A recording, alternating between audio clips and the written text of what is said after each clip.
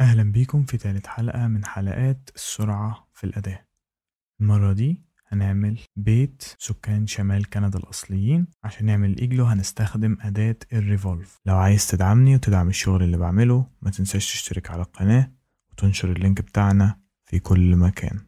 بعد ما نخش في واجهة البرنامج تحت Architecture Tab Component Model in Place هننزل تحت شوية هنلاقي Generic Models ندوس OK. خلينا نسميه إيجلو ندوس OK. وبعدها نعمل Reference Plane ونخليها في النص. ونسميها A. بعد كده هنروح على South Elevation ونبدأ نستخدم الأداة بتاعتنا. من Create هنروح Revolve وبعدها هنختار Reference Plane اللي عملناه وندوس OK.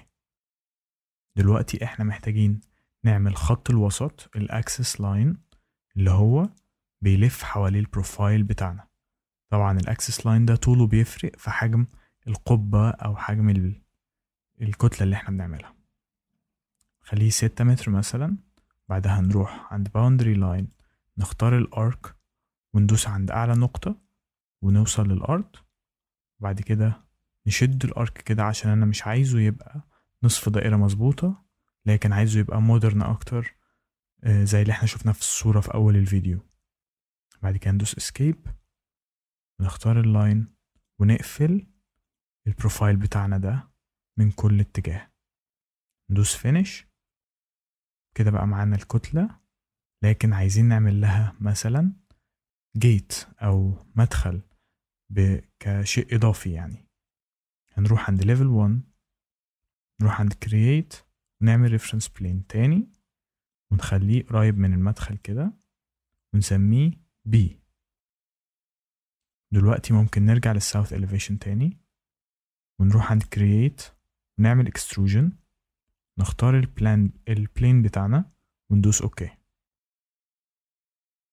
هنرسم ال profile بتاع المدخل في النص كده ونعمل له من فوق arc مثلا. نشيل الخط الزائد وندوس finish. هنروح ل 3D من فوق هنا وندوس على الكتلة بتاعة المدخل ونشد السهم بتاعها لجوه. تمام؟ بعدها عايزين نعمل الكتلتين دول جوين عشان لما نخليهم curtain walls أو نخليهم إزاز يعني ما يبقوش متداخلين مع بعض. فهندوس على join من هنا join geometry وندوس على الكتلتين. بعد كده نقدر دلوقتي ندوس finish model. ومن تحت نخلي ال visual style shaded.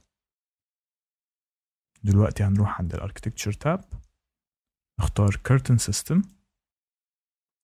وهو مختار لك select multiple اختار أول surface من القبة وتاني واحد الاتنين مع بعض دوس create system. أنا ممكن أكون عايز أعمل system خاص بالقبة فهدوس edit type. وبعد كده أعمل duplicate وأسميه igloo system مثلا. ده ليه؟ علشان أكون متحكم أكتر في النوع ده من غير ما أبوظ ال family الأصلية.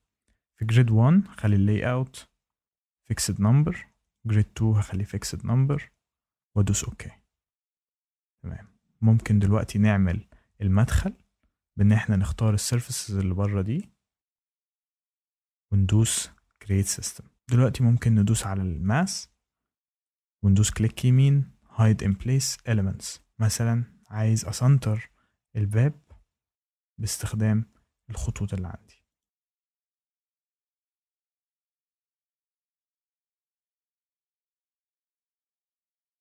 أختار الخط التاني وأشيل ال pin وبعد كده أدخلهم عند الباب كده.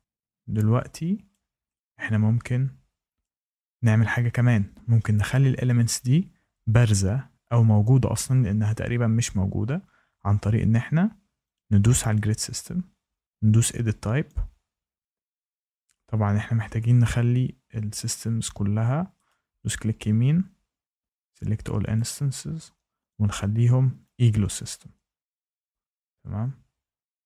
محتاجين نخلي ال system بتاع الكتلة اللي آه القبة دي لوحده وال system بتاع الباب ده لوحده علشان ال elements دي ما تبقاش باينة في الاتنين.